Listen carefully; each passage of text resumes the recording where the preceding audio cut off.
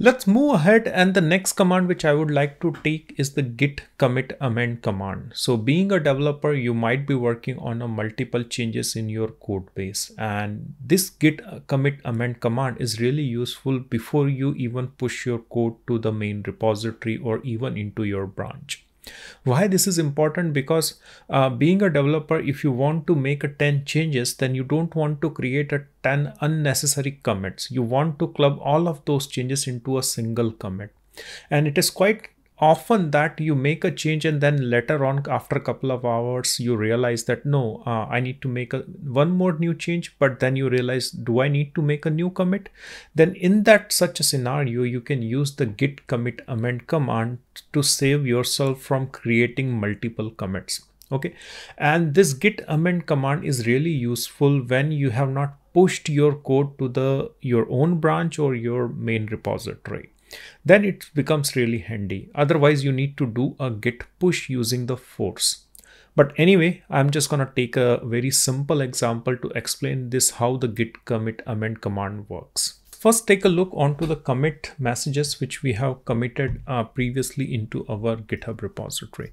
So the command I'm going to run is git uh, log and after that I'm just going to supply one line flag and here you can see these are the commit messages. So now the very simple example using the git amend command is we would like to modify this particular commit message. All right. So this is the last message which we have committed and pushed into our github repository. So how we can modify that? So as soon as you run the git commit amend command then it is going to pick your latest or last commit message. Okay. So here i'm going to run the command git commit and then I'm going to run git amend and hit enter. So here you can see the same message has been opened into the edit mode. So from the keyboard, you can press I for going into the edit mode and here you can add your custom message. For example, uh, added a feature number two for demo. Okay. After that, you can just simply escape and then you can press colon W and Q to save your uh, commit message and then hit enter all right. So after that your uh, commit message has been saved and it has been modified. Let's take a look again the git commit history. So again i'm just going to run the command git log one line which you can see over here and then hit enter. So here you can see my previous message has been modified.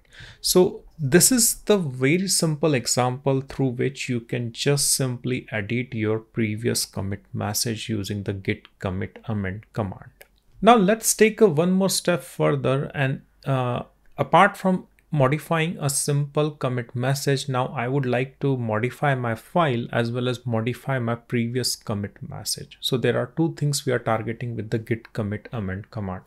So again I'm going to take a same example of a feature2.txt and here first of all I'm going to make a changes. So this is a change in file I am doing for git commit amend. Okay?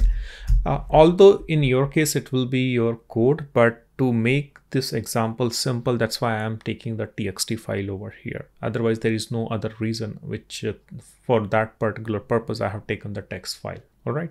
Now let's save the file. And now uh, if i go to my terminal and let's take a look onto our commit messages. So here i'm going to run the command git log and then one line. Okay.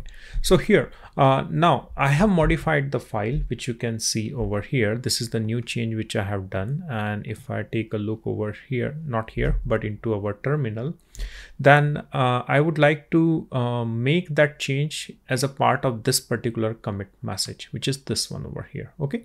So I don't want to introduce a new commit but I just want that change to be a part of this particular commit so how to do that? First of all let's check the status git status. And here you can see this file has been modified okay? So if file has been modified the obvious thing is what you will do you will try to add that into the git so that git is aware that this new file we need to commit and push okay? So here i'm going to run the command git add and then here i'm going to add feature.txt2 okay. Now i have added the obvious thing which you will do is to do the commit message. But here we don't want to introduce any new commit over here. But instead i want to work on the same commit which i have previously committed because my feature is not ready yet. Okay. So here what i will do i will just go and type git commit. And then after that i will just type amend. And then hit enter so here i'm going to go into edit mode by pressing i and added a feature number two for demo and new change in file. So i have modified the same commit message over here. Then after that press escape and then colon and wq to save your uh, message and then hit enter. And after that your message has been modified and then your file has been added over there okay. So that's how you can modify your previous commit. You can add your file and that file will be a part of your git commit amend. So that's how you can work with your previous uh, commit message modification using the git commit amend command